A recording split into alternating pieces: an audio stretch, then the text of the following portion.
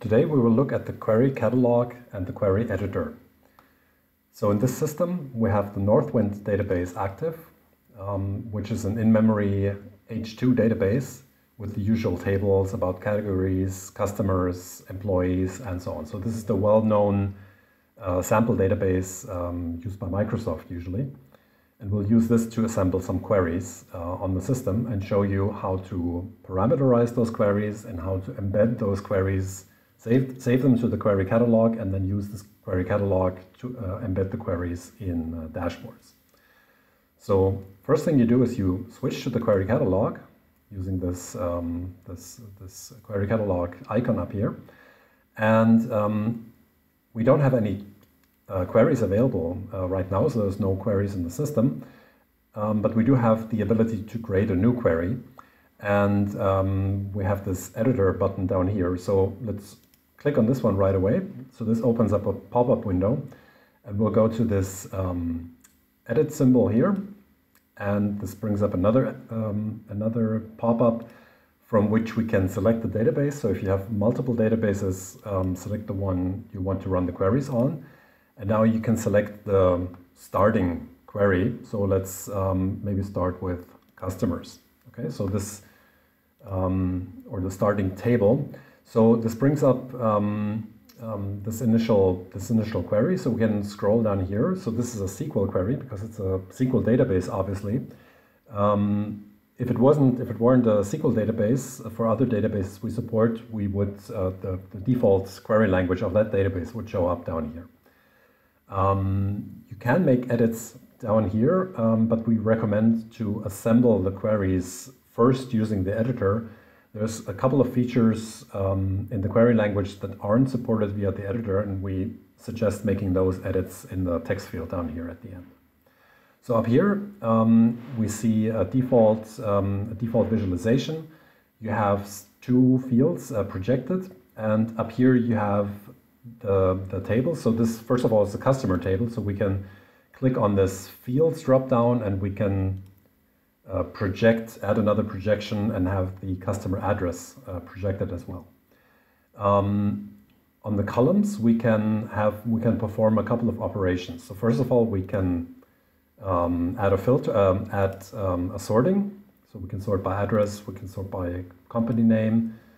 Um, note that uh, the editor doesn't support sorting by multiple um, columns. We can change the order of the columns, so we can drag and drop this guy over here, for instance, and uh, make sure that the, that the projection is in the order that we would like. Um, that's very important when you, uh, because the, the order is obviously displayed if you later use a table widget to display the results. It's also important when we have an aggregation query later on and we have some sort of bar chart um, that we that we use to visualize the data, um, it's also very important because the first one is always the um, sort of the label of the of the bars, for instance, and the second one is the, the height of the bar or the actual value that's being displayed. So this ordering is very important. Um, we can now, since the system knows the primary key to foreign key relationships, we can add uh, a projection from another table. So we have this customer, um, um, this customer demographics um, uh, relationship, and we have the orders. So let's maybe select one column from the order. So we can say, well, maybe what um, what maybe what country the, the order actually went to. Okay. Um, so you can see that this column is added, but you can also see that a join actually uh, took place. So we can have a look at the query. So right now we select a bunch of fields from customers and we have an inner join on the, uh, on the orders table. And from here we can actually go on and we can look at the order details and we can, uh, for example, have a look at the, um, at the quantity that was ordered, okay? Um, and now we can actually even join in the, the product. So we have the product name as well. So you can see that this is already a fairly complicated uh, query, joining four tables. And um, we can assemble them just by pointing and clicking um, because we have the relationship meta information stored in the database. Okay, now we can use the undo, undo function to go back a couple of steps, maybe to a, to a simpler query. Um, we can actually go back pretty much to the beginning. And um, I wanted to show you some other features. So we saw the uh, column reordering, we saw the sorting. Uh, we can now apply a filter. Um, so for instance, we can say, well, show me all the things that are uh, larger than around the horn. Um, and you can see that the where clause um, is added here, okay? We can also, um, so by, by clicking this little X, we can uh, get rid of the filter again. And um, we can also say things like, well, where it's equals or where it's between one and the other. So maybe Bon Appetit and um, maybe around the horn and something like this, right? Um, okay, so that's adding the filters. Next, let's look at aggregations. So we can, for instance, um, add country and maybe let's remove this ID. And now from this drop-down menu, we can um, not apply a filter, but, but actually group by this, um, by this country, okay? So now we get the query, select count star, uh, so we count the customer names, and from countries, uh, but we group by the country, and we also um, project this, um, this grouping. And this shows us um, the number of customers per country. Okay, so maybe let's add this to a small dashboard. And since I already mentioned that the ordering is important, so let's actually drag this to the beginning. So that's important. That's sort of the contract between the query and, um, and the chart widget is that the first column must be the label and the second one is the actual value we would like to display. So let's uh, save this for now and so let's give it a good name. So this would be um, customers per country. That's a read query. Uh, we can specify the roles um, that are allowed to, um, to, to, to run this. So admin is allowed any no, actually we have to select the admin and authenticate it. And, um, um, or you can leave it blank. Um, that means that everybody can, can run the query. And let's create this query. Okay, so now it's um, available in the query catalog. And we can now go to the dashboard pages and we can create a test dashboard. Go onto the da uh, test dashboard, we can um, go into the edit mode and now edit this widget and let's make it the um, let's make it a chart widget. The query is our customer per country. The chart type, let's uh, let's use a uh, donut. The database is the Northwind database and the title can be customers per country. Okay, and now let's switch to the grid layout to make sure that the um, um, that we that we have a little bit of spacing. Otherwise, we can also specify the width and the height to make sure that um, the chart is actually displayed and the users can see this um, um, this um, this donut chart here. And so we can uh, maybe add another chart here, move it to the side, and we can also use it as a table. Okay, so same thing here. Um, leave away the title here and we get the same displayed as um, a table. Okay, so let's save this guy here and go back to the query catalog. Okay. Okay, we can make a change to the query and maybe apply a filter um, and say all the countries that are smaller than Canada, for instance, so we only have five countries left. Um, we save, we, we save this, we update the query, and now we can go back to the dashboard. Actually, it shows up here as well, the test dashboard, and you can see that only the five um, countries are displayed now. So you can see the, uh, the interaction between the query catalog and the, and the dashboards uh, very nicely. Okay, so let's go back to the query. Maybe let's, let's create a new query. So we'll do a query again on the Northwind database, um, but this time on the employees table. And um, so what we'd like to do is we would like to introduce a, um, a, parameterized query. So on the page of, a, um, of an employee, we would like to display an org chart which um, includes all of the people reporting to this employee, okay? So we have the employee ID, we have the last name, um, and let's also, we need to project the reports to column. So this is the recursive relationship um, um, that we have in the database. And in here, let's have, let's include the filters, So all the people that uh, report to employee five, for instance.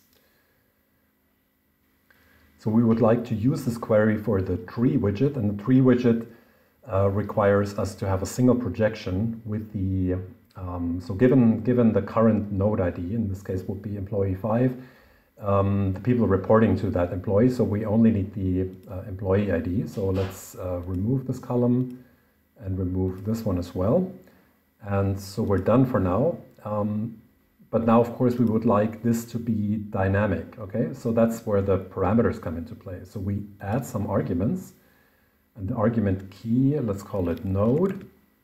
The type is an integer, and the sample is 5. And down here, we can now replace this and include this variable notation and call it uh, dollar and curly brackets node. So if I go into the editor, you can see that it's replaced on the fly and I can still use the query editor to, um, to, to modify the query, but we actually have a sort of a dynamic element in here. Um, so let's call this one org charts. And it's a read query and okay, so we're good. So let's create this query. And now let's embed this query onto the um, employees page. Okay, so let's pick a manager. So uh, Mr. Fuller is a manager, for instance. So we go into the layout edit mode, and now we specify um, we specify the tree widget. The query we use is the org chart. database is Northwind, and we call this the org chart. Um, okay, so Okay, we can actually save the page now and um, we can see that org chart is working and we can now expand uh, employee number five and um, click on, well actually click on five. So here the org chart uh, displays differently and only shows um, uh, these employees here. Um, we'd like to refer you to another video where, you, where we explain how you can um, instead of have uh, just the numbers show up, uh, actually have the nice names show up in the hyperlinks. But that's um, that's in, in, one of the other videos. Um, one more thing um, we can do is uh, because actually there's a convention in the um, tree widget that the variable uh, node is filled with the current ID. If you use a different widget, uh, you have to specify this explicitly. So let's um, add another widget here. So we add a widget and let's make this a table widget. Again, we use the org charts on the Northwind database.